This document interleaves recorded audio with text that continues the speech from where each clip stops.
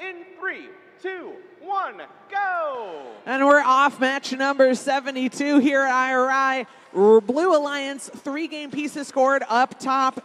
Krypton Cougars going back for more with their partner Hollywood.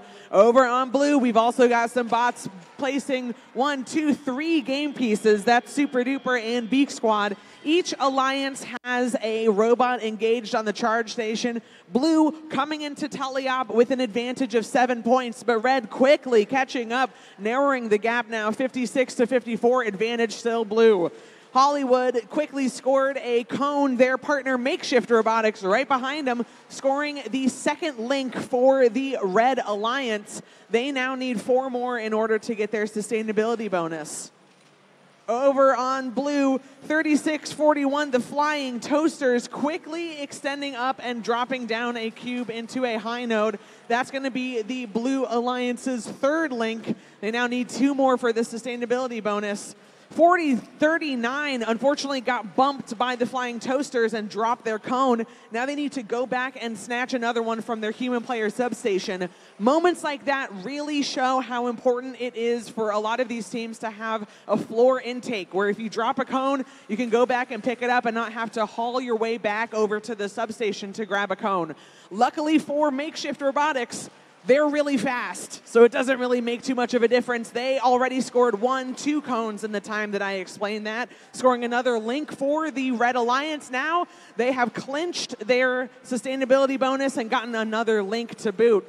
We've got 50 seconds remaining. Beak Squad lifting up and finishing up the top row for the Blue Alliance. Also grabbing a loose cube that was in the Blue Alliance's community and scoring it on a mid node as well. 40 seconds remaining. Krypton Cougars, they're currently ranked third, the only robot on the field in the top eight. They know they need to win and get all four ranking points to stay in that position. They dropped another cube into a low node. Red Alliance almost has a full grid. Same with blue. One more placement for blue, and we have a supercharged grid, it looks like, on the blue side of the field. 15 seconds left. Red is trailing by nine points. 40 39, helping their partners get ready to balance. Over on blue, we've got a supercharged grid and three robots engaged. Five seconds remaining. Red needs to hurry to balance. One.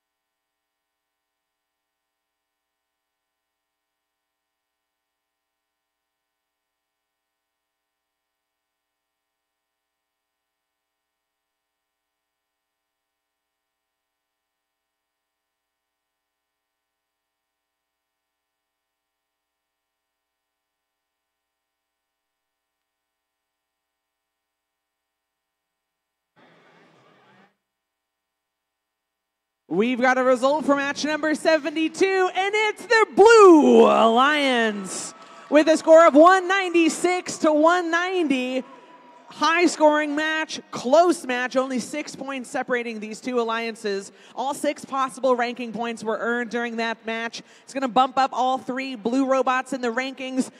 Super duper robotics almost in the top eight. Over on red, it's actually going to knock down the Krypton Cougars. They were third, now they're fifth, shaking up the top eight a little bit as we get closer to alliance selections.